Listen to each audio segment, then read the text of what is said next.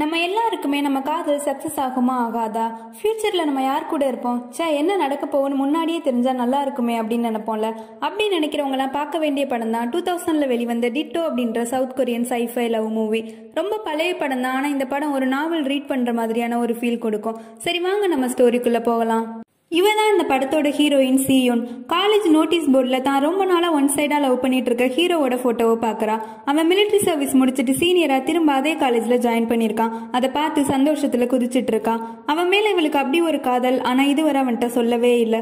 ஒரு ரூமில் பசங்களோட உட்காந்துருக்கிற ஹீரோவை மறைஞ்சு நின்று சைட் அடிச்சிட்டு இருக்கா பக்கத்தில் ஒரு ரூமில் ஒருத்தன் அவன் ப்ராஜெக்ட்காண்டி ரேடியோ ஒன்று கண்டுபிடிச்சிட்டு இருக்கான் அதை வச்சு நிறைய அமௌண்ட் பெட்டு கட்டியிருக்கான். ஆனால் அது கடைசியில் ஒர்க் ஆகலை. இனிமேல் இது வேலைக்கு ஆகாதுன்னு சொல்லி எல்லோரும் அந்த ரேடியோ அங்கே அங்கேயே போட்டுட்டு கிளம்பி போயிடுறானுங்க. இப்ப ஹீரோ வரதை பார்த்து சியூன் ப்ராஜெக்ட் பண்ணிட்டு இருந்த அந்த ரூம்குள்ள போய் ஒளிஞ்சுக்கிறான். ஆனா அவன் பார்த்துட்டான் இவளை. ஏன் இவன் மறைஞ்சு நின்று பாக்குறான்னு சொல்லி கதவை திறக்கிறான். சீன் பக்கத்துல வரான் ஆனா இவ தெரியாத மாதிரியே நிக்கிறா. யதார்த்தமா பாக்குற மாதிரியோ நீங்களா அப்படின்னு கேக்குறா சியோன். இங்க நீ என்ன பண்ணிட்டு இருக்கன்னு ஹீரோ கேட்க டக்குன்னு என்ன சொல்றதுன்னு தெரியாம ரேடியோ ப்ராஜெக்ட் பண்ணிட்டு இருக்கேன்னு சொல்லிட்டு அந்த ரேடியோவையும் மறந்து தூக்கிட்டு போயிடுறான்.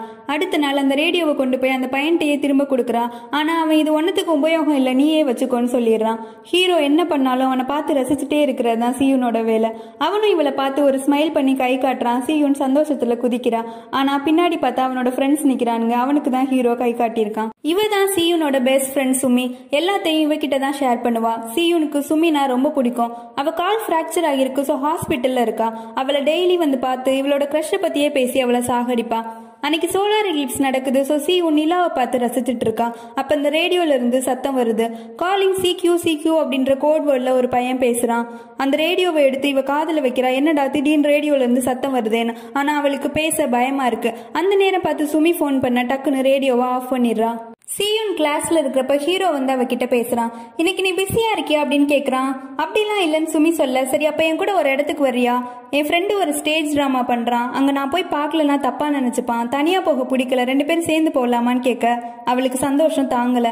ஆனா அப்பதான் யோசிக்கிறா. அவளோட ஃப்ரெண்டு சுமி கூட ஒரு இடத்துக்கு துணைக்கு போறதா ப்ராமிஸ் பண்ணியிருப்பா என்னதான் தான் ரொம்ப லவ் பண்ண ஒரு பையன் அவளை அவுட்டிங் கூப்பிட்ட சந்தோஷம் இருந்தாலும் அந்த நேரத்துல கூட அவ ஃப்ரெண்டு சுமியை பத்தி தான் யோசிக்கிறா சியோன். சரி ஓகேன்னு அவனும் போயிடுறான். இப்ப சீயும் சோகமா சுமிக்கிட்ட வந்து உனக்கு எங்க போகணும்னு கேக்குறா? அவளும் அதே டிராமா பிளேக்கு தான் போகணும்னு சொல்லவும் தான் சிரிப்பே வருது சியூனுக்கு. அங்க ரெண்டு பேரும் போறாங்க. கரெக்டா ஹீரோ பக்கத்துல ரெண்டு சீட்டு எம்டியா இருக்கு. சியூன் வேகமா போய் ஹீரோ பக்கத்துல உட்கார்றா. ஃபுல் பிளே முடியிறவர் அவ ஹீரோவை மட்டும்தான் பார்த்துட்டே இருக்கிறான்.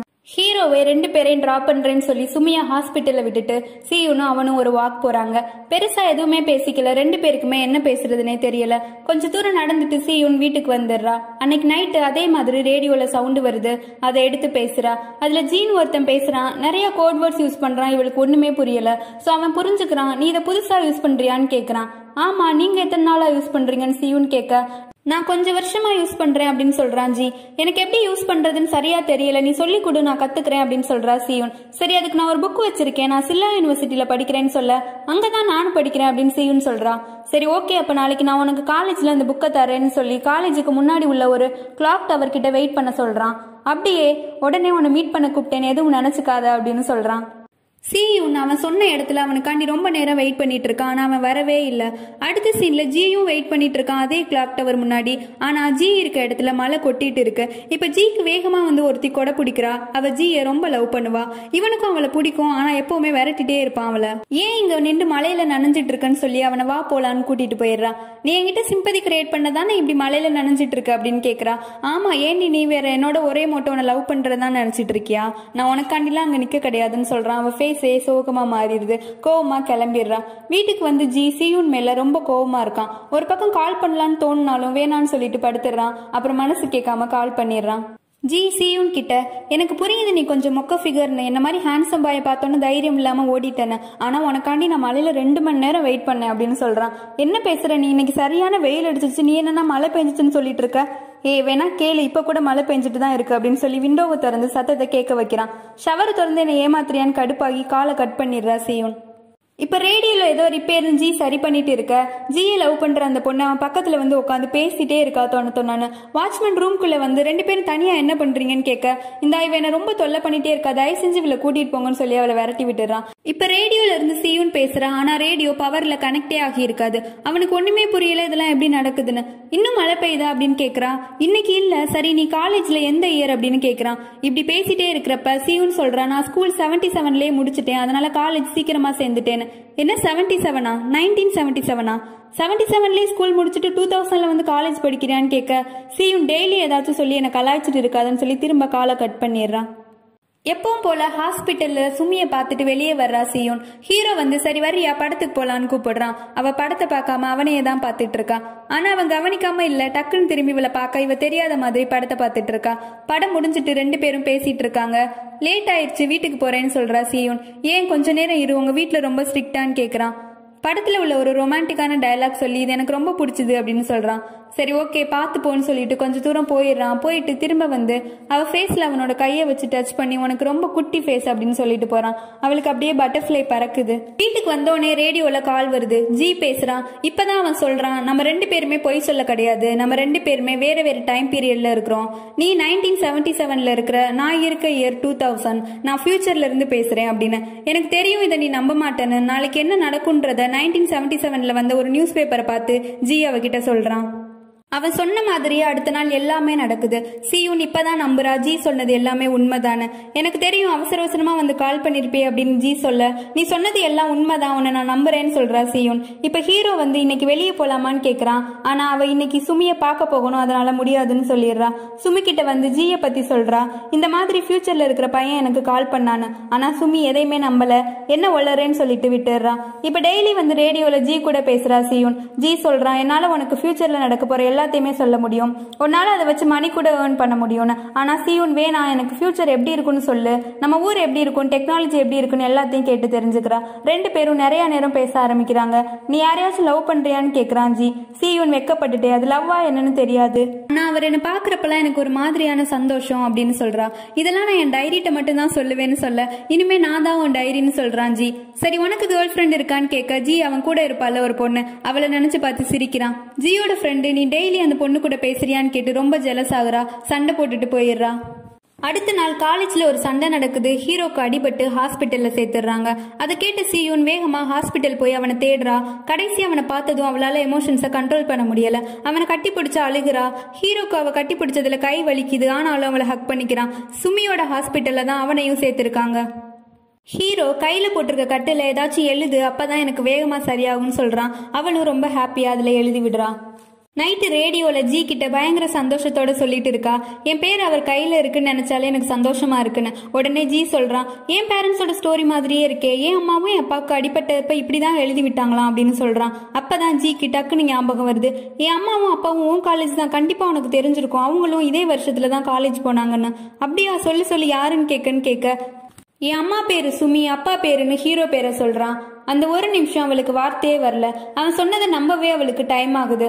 ஆமா எனக்கு அவங்கள தெரியும். உண்மையிலேயும் அப்பா பேர் இதுதான்னு திரும்ப கேக்குறா. ஆமான்னு சொல்ல அவளால அதுக்கு மேல பேச முடியல. காலை கட் பண்ணிடுறா. இப்ப ஹாஸ்பிட்டல்ல ஹீரோவை காட்டுறாங்க அவ சுமிய மீட் பண்றான். ரெண்டு பேரும் ஒரே ஹாஸ்பிட்டல்னால அடிக்கடி பேசிக்கிற மாதிரியான சுச்சுவேஷன் அமையுது. சீயூன் மிட் நைட்ல அந்த ஹாஸ்பிட்டலுக்கு போறா.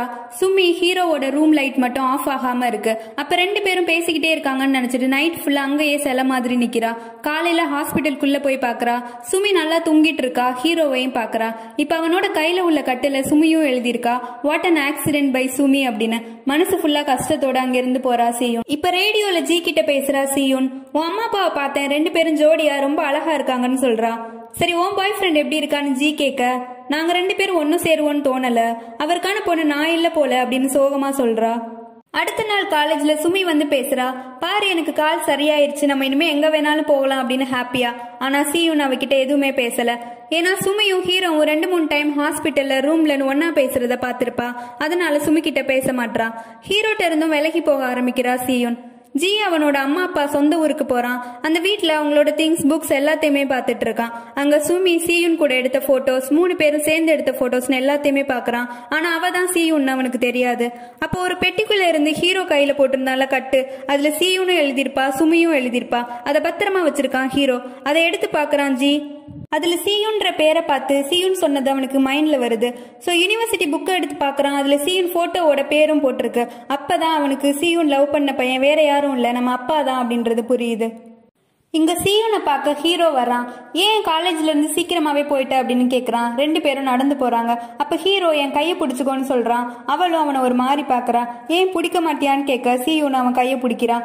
இப்ப நம்மள பாக்குறவங்க எல்லாரும் நம்மள பாய் ஃப்ரெண்ட் கேர்ள் ஃப்ரெண்டு தான் நினைப்பாங்க அப்படின்னு சொல்றான். இதை சொல்றதுக்கு தான் வந்தீங்களா? நம்ம உண்மையாவே லவ்வர்ஸா இருந்தா கையை பிடிக்கலனா கூட அது மத்தவங்களுக்கு தெரியும்னு சொல்றா சீயோன் ஹீரோ அவளை கொஞ்ச நேரம் பார்க்குறான் அவளை கிஸ் பண்ண ஸ்டார்ட் பண்ணுறான் ரெண்டு பேரும் கிஸ் பண்ணிக்கிறாங்க. பின்னாடி சுமி கண் கலங்கி போய் நிற்கிற மாதிரி தெரிய சீயும் டக்குன்னு முழிக்கிறா இது எல்லாமே கனவு.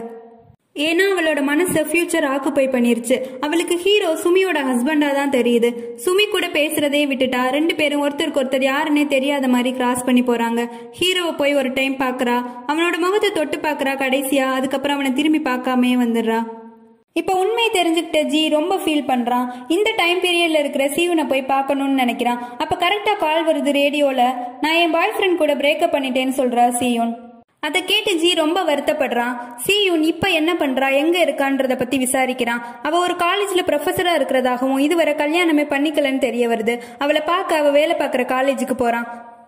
கிளாஸ்ல இருந்து வெளியாதே அமைதியோட வர்ற சீயுனை தூரமா நின்னு பாக்குறான் ஜி. அவளும் ஜிய பாக்குறா. அவளுக்கு இது ஜி தான் தெரியுது. கண்ணில் கண்ணீர் வர அதை கண்ட்ரோல் பண்ணிட்டு அவனை பார்த்து சிரிச்சுக்கிட்டே எதுவுமே பேசாம அவனை கிராஸ் பண்ணி போறான்.